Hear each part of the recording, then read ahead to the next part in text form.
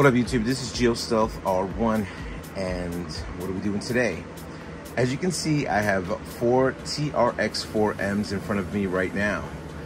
Uh, we have the Bronco, the Defender, we got a Ford, and we got a Chevy. And primarily what I'm looking to do is the Bronco is extremely heavy modified.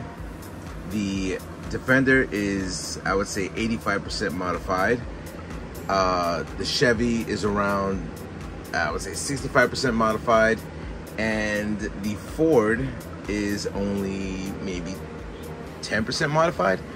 And primarily what I'm gonna be doing right now is I'm gonna let you guys vote. Now, what are you voting for?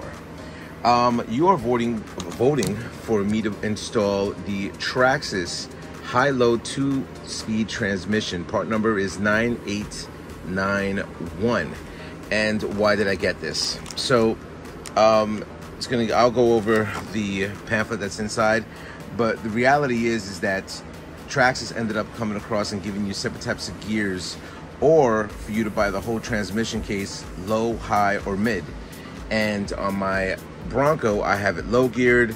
On the Defender, I have it high geared, and on the two other TRX 4Ms, the Ford and the Chevy, they have I would say the mid gear.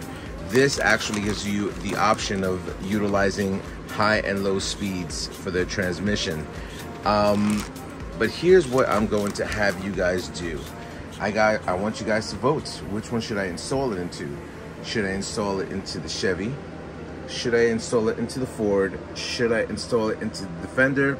Or should I install it into the Ford Bronco? So uh, definitely vote put your comment uh, below which one I'm going to do it for, and then I'll install it either live or just make a video. Or do you want me to do a live or just send out another video? Rate, comment, subscribe to my on YouTube. Later.